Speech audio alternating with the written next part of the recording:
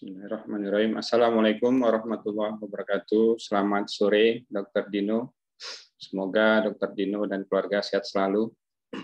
Di sini saya akan melakukan review pertemuan ke-6 yang materinya adalah conditioning, asosiasi, dan answering.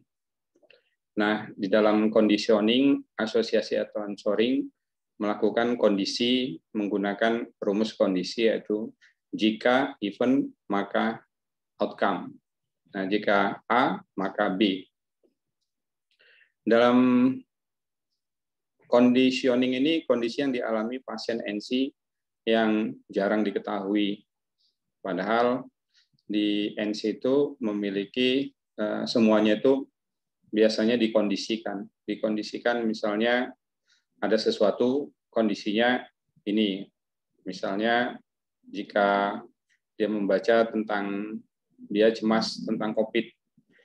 Di dalam COVID itu ada gejala-gejala yang berhubungan dengan penyakit COVID. Nah, jika dia pilek sedikit, maka itu sudah dikondisikan dengan penyakit COVID. Padahal eh, kegiatannya tidak ke mana-mana.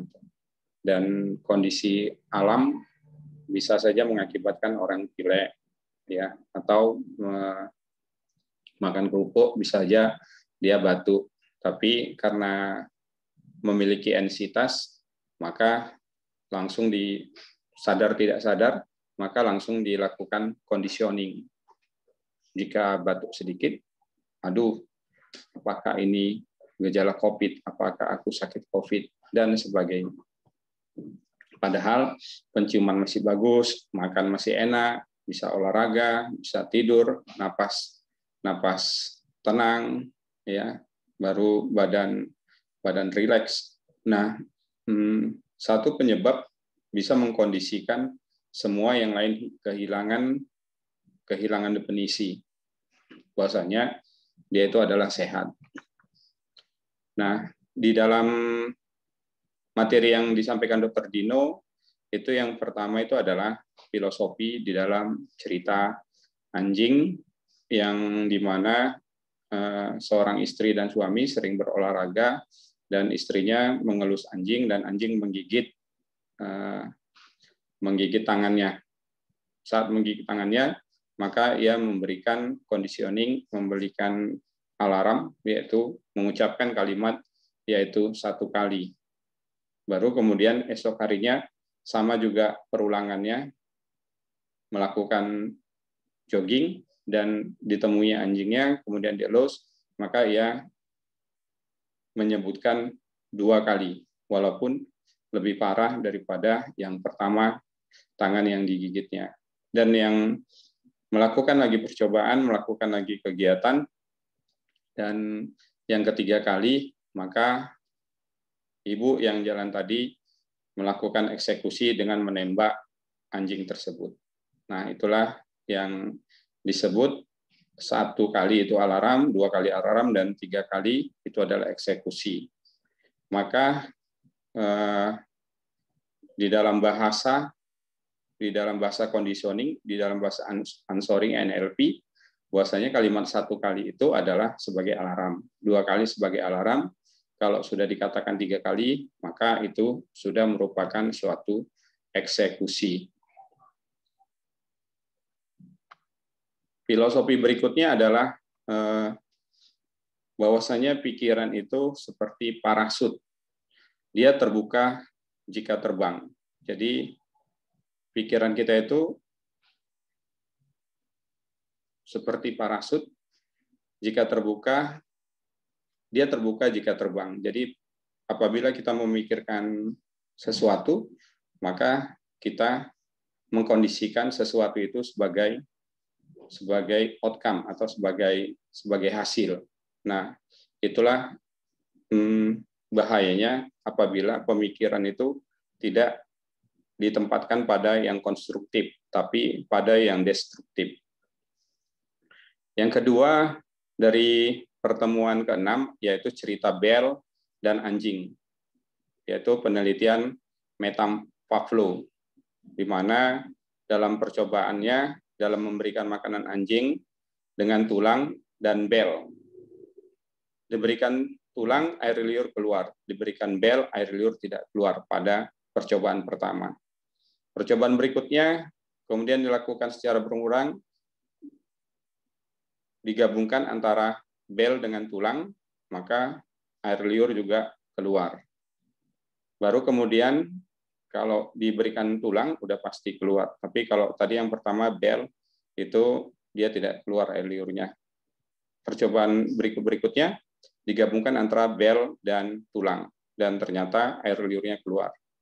Kemudian pada selanjutnya percobaan yang ter, percobaan berikutnya dia tidak memberikan tulang tapi dia memberikan bel, membunyikan bel. Maka air liurnya keluar. Nah, di sini disimpulkan bahwasanya asosiasi atau conditioning bahwa bel sama dengan pemberian tulang. Maka jika dibunyikan bel, maka otomatis anjing itu akan diberikan tulang. Itulah asosiasi atau conditioning terhadap bunyi daripada sebuah bel terhadap anjing yang diberi makan tulang. Hubungan asosiasi berhubungan dengan seorang fobia. Begitu juga dengan ansitas. Misalnya contoh fobia ya. Misalnya dia naik pesawat, maka dia takut jatuh. Ya, itu contoh dari fobia. Jadi fobia itu hanya satu satu satu keadaan, tapi kalau ensitas itu banyak keadaan. Contoh, jika seorang jika mendengar orang mati, maka terasosiasi dianya juga akan ikut mati. Jika merasakan jantung berdebar, terasosiasi bahwasanya dia itu adalah memiliki penyakit jantung dan akan meninggal. Jika berada di keramaian, maka terasosiasi karena kerumunan itu adalah salah satu penyebab penyakit COVID, maka dia akan mengasosiasikan dia terkena COVID. Filosofi daripada pikiran ini bahwasanya pikiran mampu menyebabkan keluhan. Jangan hanya diatasi keluhan, karena keluhan akan terus muncul karena penyebabnya tidak diatasi. Yang semestinya yang perlu diatasi itu adalah pikirannya. Bagaimana pikirannya membentuk yang konstruktif membentuk conditioning, membentuk asosiasi bahwasanya dia itu sehat, dia itu bahagia, dia itu uh, tenang, dan dia itu dalam kondisi keadaan sehat walafiat. Dalam sebuah cerita juga salah satu anchoring atau salah satu conditioning, salah satu asosiasi adalah seorang anak melihat sapu lidi. Karena dianggapnya sapu lidi itu pernah memukul dia dan terasa sangat sakit. Jadi apabila dia bermain di tetangganya dan terlampau aktif, maka seorang ibu itu hanya melihatkan sapu lidinya. Nah, sebenarnya anchoring ini banyak di, dilatih kepada anak bayi yang belum bisa bercerita karena dia menganggap visual dan gerakan sebagai sebagai anchoring terhadap uh, sesuatu simpulan, sesuatu bahasa yang dianggapnya itu adalah bahasa bahasa bahasa petunjuk ya. Nah, apa beda fobia dengan ensitas? Kalau fobia dia memiliki stimulus cuma satu, seperti naik pesawat, takut jatuh, lihat cicak, takut, lihat tupai, takut. Nah, tetapi kalau ansitas, maka dianya multiple, banyak stimulus. Multiple atau banyak stimulus. Jadi bukan hanya satu stimulus, tapi mengakibatkan banyak stimulus. Nah, contoh, misalnya case saya, jika ada satu definisi reaksi yang berhubungan dengan tubuh, gejala corona, maka asosiasinya adalah terinfeksi virus corona. Nah, itulah yang yang dialami oleh ansitas karena banyak gejala-gejala eh, penyakit corona. Ya, jika salah satu aja yang terindikasi ke dalam tubuhnya, dia pun langsung terasosiasi apakah ini aku sakit corona atau apa gitu. Nah, padahal tidak seperti itu. Karena pikiran membawa asosiasi ke dalam penyakit itu. Nah, untuk itu yang perlu di, diperhatikan adalah pikirannya. Dalam memahami conditioning, rumusnya itu polanya adalah jika event maka emosi. Nah, event itu terdiri dari visual seperti gambar, tadi gambar sapu lidi, kuburan, baru auditorik. Event itu bisa juga berbentuk suara. Ya. Misalnya air menetes, baru kinestetik, gerakan. Misalnya dia naik ketinggian dan itu terjadi spontan. Jadi untuk memahami conditioning, maka kita masuk ke dalam sebuah film atau event, bagaimana kita membayangkan sebuah visual, gambar, baru kemudian di situ nanti kita memperbesar skala suara, bahwasanya di dalam uh, film itu nanti ada suaranya, baru ada kinestetik, ada gerakan, ya, baru kemudian itu yang menyebabkan nanti emosi konstruktif kita itu apa emosinya. Maka eventnya itu visual, auditorik, dan kinestetik itu kita kita lakukan skala perbesar. Artinya skalanya sampai eh, misalnya event kebahagiaan. Kebahagiaannya itu sampai tingkat puncak. Nah, maka kita bisa mengatakan eh, jika eventnya baik, maka emosinya juga nanti akan berdampak baik. Untuk pola fobia itu adalah dari masa lalu ke masa sekarang. Di mana mm, masa lalu itu, anchoring masa lalu itu harus memiliki skala intensitas sampai puncak atau skala 10.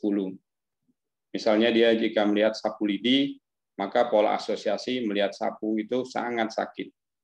Baru kemudian misalnya terasa jika dijahit itu merasakan sakit yang dalam, maka apabila orang melihat jarum suntik ataupun untuk menjahit, maka dia akan merasakan itu kesakitan karena sewaktu lampau dia merasakan itu sangat-sangat sakit. Nah, untuk mengatasi itu kita membutuhkan satu teknik atau satu model yaitu anchoring, di mana pola di dalam anchoring itu kita yang menciptakan sendiri. Ya. Di mana tahapannya adalah tentukan emosinya. Emosinya ini berbentuk konstruktif, bisa sabar, berani, ikhlas, tenang, sehat, dan lain sebagainya. Baru kemudian tentukan gerakannya. Gerakannya yang bentuknya bagaimana. Gerakan secara spontannya nanti, jika event, visual, auditorik sama kinestetik yang sudah diperbesar skalanya, maka eh, emosinya akan menghasilkan yang emosinya outcome-nya akan menghasilkan sesuai dengan emosi yang diinginkan. Kita tentukan gerakannya, baru kemudian akses momennya, boleh masa lalu, boleh masa depan, boleh juga kita melakukan kreasi, melakukan eh, kreasi sendiri tentang apa definisi sehat, apa definisi sabar, apa definisi bahagia. Kemudian kita mengakses visual, gambar, auditorik, suara atau kinestetik, gerakan, itu kita anggap dilakukan dalam bentuk amplifier. Misalnya kita melihat eh, menonton MP4, maka itu bagaimana suaranya kita besarkan, baru gimana zoom-nya kita besarkan sampai skala 10 sampai gambarnya secara terang benderang kita lihat. Baru pilih gerakannya. Nah, eh, pilih gerakannya itu jika sudah sampai 10 maka kita lakukan gerakannya. Nah, event nanti akhirnya kita harapkan event tambah respon sama dengan outcome, di mana responnya ini sudah diganti sama jika event kegiatan Eh, jika event visual auditorik sama kinestetiknya sudah bagus, maka dia langsung menghasilkan outcome secara spontanitas. Maka di dalam event harus mencapai harus terjadi dalam emosi sangat puncak, yaitu emosi dalam filmnya, ceritakan rasanya, kemudian berikan gerakannya. Di dalam anchoring ini juga e, berlaku rumus rasa dilawan rasa. Jadi jika ada state ini maka e, rasanya akan bagaimana. Jika ada sensasi ini maka kita harus melawan sensasi rasa daripada anchoring yang kita buat. Jadi disimpulkan teknik anchoring ada tujuh. Yang pertama tentukan emosi konstruktifnya atau emosi yang positifnya. Yang kedua, tentukan gerakannya. Baru yang ketiga, tentukan filmnya. Kita membuat film, kita ber memiliki rasa, memiliki film, kita masuk ke dalam masa lalu atau masa depan. Filmnya itu bagaimana kita kita pernah merasakan itu. Baru kemudian skalanya kita naikkan, perbesar skala sampai dengan 10 ya sampai dengan puncak baru asosiasikan gerakannya dan pertahankan sampai 10 20 detik. Baru kemudian kita melakukan bread state. Bread state ini adalah menetralkan emosi dengan cara melakukan gerakan kepala, memutar kepala, melihat ke atas, melihat ke kiri, melihat ke bawah, melihat bawah sampai hilang emosinya. Baru kemudian kita berhenti bernapas, bernapas, bernapas, boleh juga bergumam hmm, hmm, hmm, untuk menghilangkan emosinya. Baru kemudian kita lakukan tes. Ya, tes ini dilakukan tidak boleh membayangkan yang apa kita lakukan di tahapan 1 sampai tahapan 5 tadi. Maka tes ini adalah netral. Kan kita hanya memberikan gerakan apa yang kita lakukan tadi. Baiklah, saya akan melakukan uh, mencoba. Sebenarnya sudah saya latih, tapi di dalam video belum belum saya apa belum saya lakukan.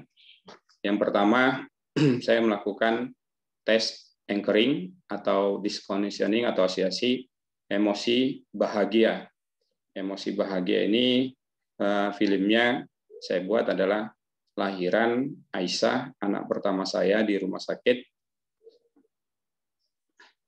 Baru kemudian eh, gerakannya adalah menepuk tangan.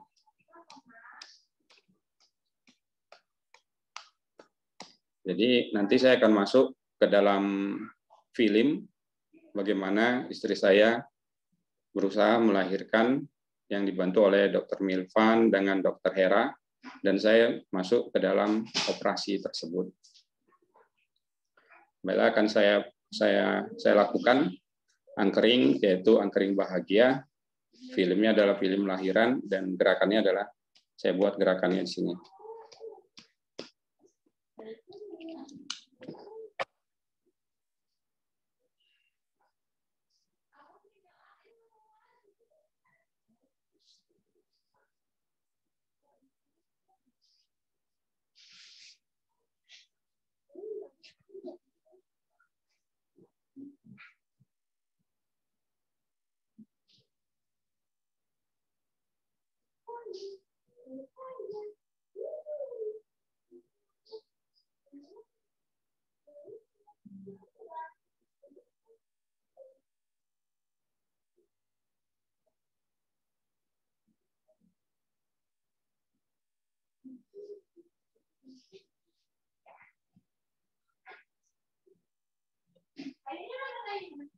Are you going?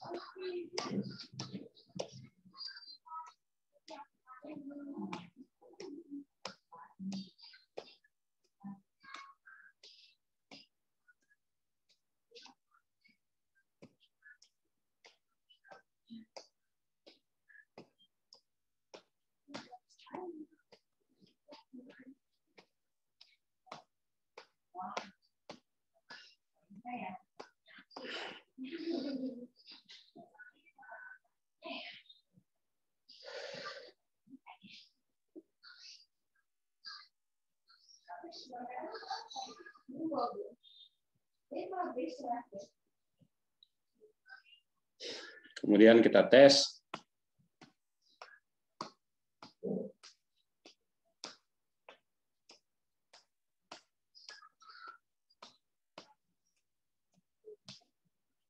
Nah, itulah hmm, anchoring bahagia. saya me, melakukan film bahwasanya saya berada di di apa di ruang operasi berada di kepala istri saya. Pertama memang cemas-cemas ya cemas. Baru kemudian setelah lahiran di situ eh, saya merasakan kebahagiaan yang tiada tara ya. Eh, semuanya tertumpahkan di situ sambil mengajani dan mencium Aisyah, maka di situlah emosi kebahagiaan saya eh, terlampiaskan sampai puncaknya.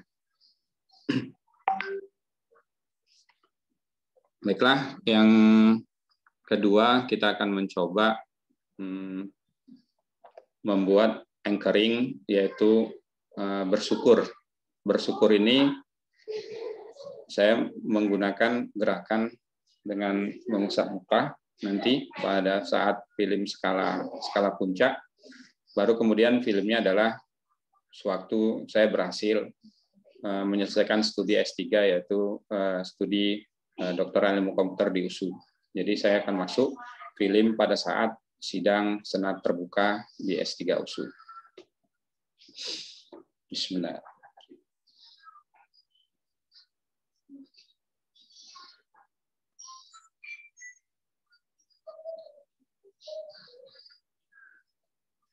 Alhamdulillah.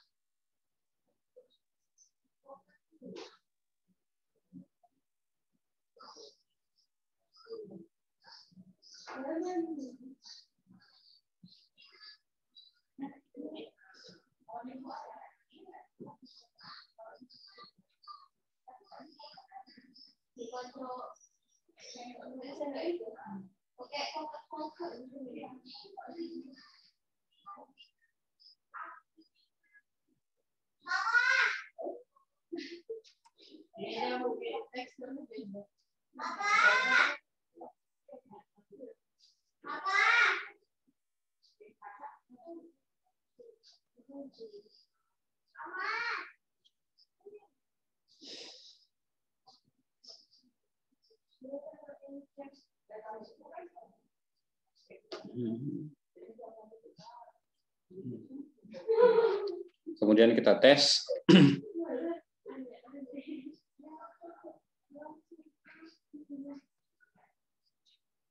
ya, terasa.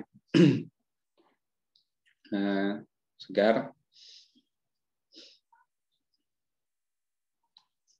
Kemudian eh, satu lagi saya akan mencoba anchoring, yaitu anchoring eh, sehat, konstruktif, emosi sehat, di mana filmnya itu adalah saat saya melakukan eh, terapi ke Profesor Rapli Hasan ya di klinik 61. Di situ saya dinyatakan bahwasanya jantung saya tidak tidak bermasalah. Baiklah saya akan melakukan state yaitu emosi sehat.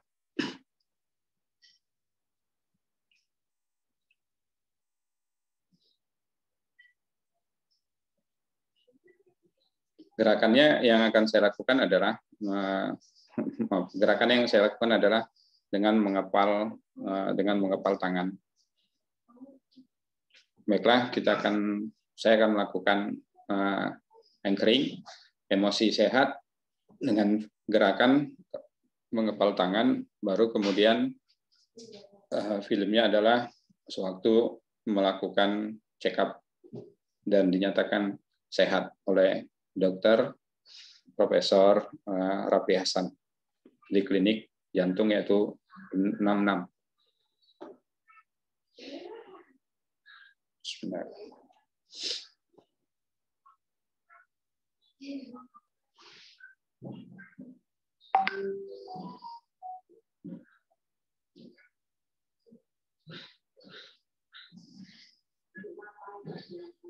Bismillahirrahmanirrahim.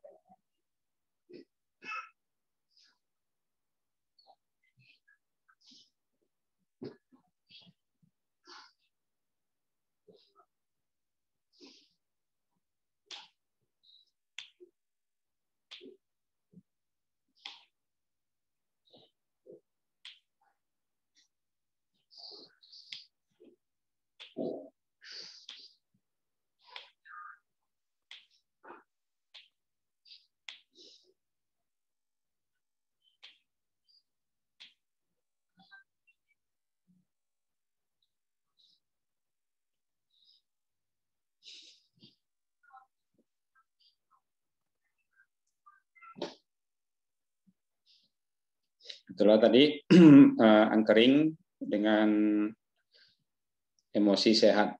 Nah, untuk mengetesnya maka saya mengepalkan dua tangan saya.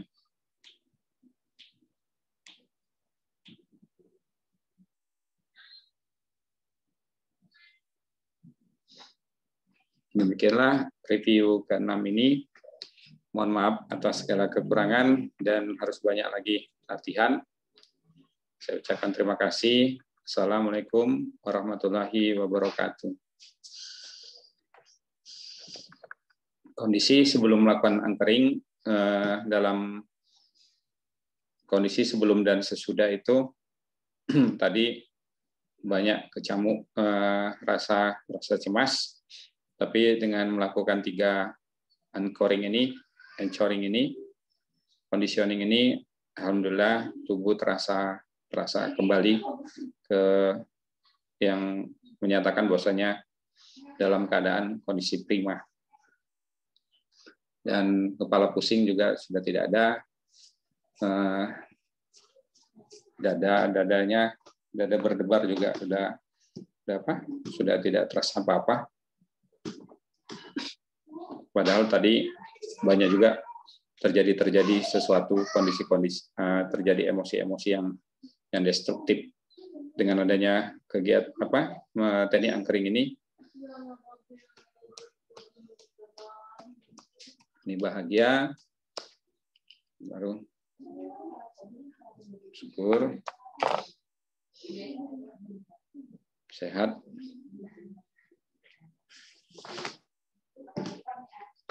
Nah kembali ke normal. Terima kasih Dokter Dilan Semoga ilmu-ilmunya bisa saya manfaatkan untuk penyembuhan secepatnya dan saya mendapatkan trik-trik yang yang apa? yang lain lagi. Tapi saya pun merasakan pakai Ho'oponopono itu terasa nikmat juga dalam mengatasi uh, permasalahan karena di uh, Ho'oponopono itu kita bisa langsung uh, menceritakan diri kita dengan sang halik. Jadi kita menganggap diri kita uh, menyesal, baru kita minta maaf, baru kita ucapkan terima kasih, baru kita uh, kita ucapkan sangat mencintai diri saya, baru kita ucapkan terima kasih dan itu uh, langsung uh, tertuju kepada sang halik dengan kalimat setup setup install ulang keadaan cemas kita setup kita reset. Kalau di komputer itu di reset diinstal ulang jadi dia kembali ke ke normal. Terima kasih. Assalamualaikum warahmatullahi wabarakatuh